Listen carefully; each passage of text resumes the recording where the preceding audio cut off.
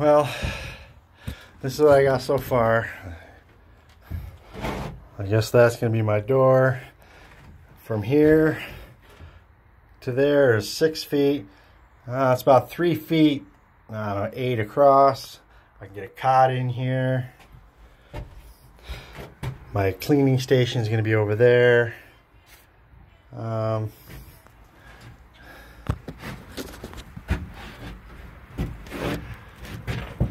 you see, I'm standing at the high point. It's oh, a good six and a half feet up.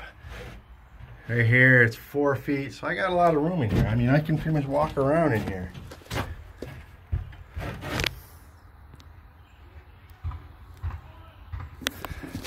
So far. Uh, go up to my dad's. He's got a 30 foot by, I don't know, 20 foot tarp. I'm going to drape this whole thing, staple it to it. And I'm thinking window there, window here. That's why I didn't stud it up yet. I want to get the windows in there. Maybe one over. Well, I don't know about if I'll do it on the back. The way I'm going to set it up is this. This is going to be facing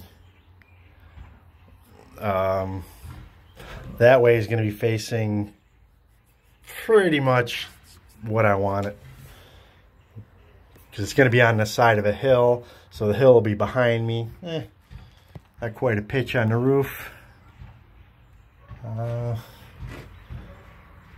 well, I'm going to call it for now. All right, later.